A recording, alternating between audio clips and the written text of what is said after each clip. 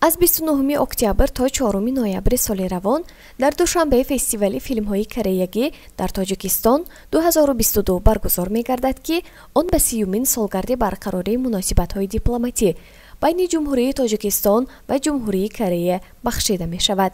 29 октябр маросими ифтитоҳи ҷашнвора дар кинотеатри кохи наврӯзи шаҳри душанбе баргузор шуд ки дар он филми кореягӣ бо номи чеҳраи хонанда манзури тамошобинон гардид.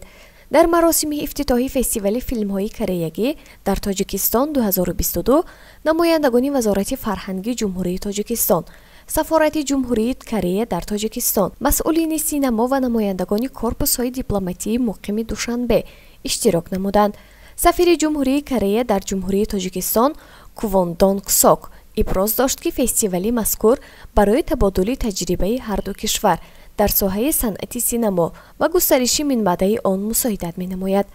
Қаблан чунин фестивалҳо солҳои 2013 2015 ва 2017 дар шаҳри душанбе доир гардида шумораи зиёди тамошобинони филмҳои кореягиро ҷалб карда буд. Намоиши филмҳои кореягӣ то 4 ноябр дар кинотеатри кохи наврӯзи шаҳри душанбе идома меёбад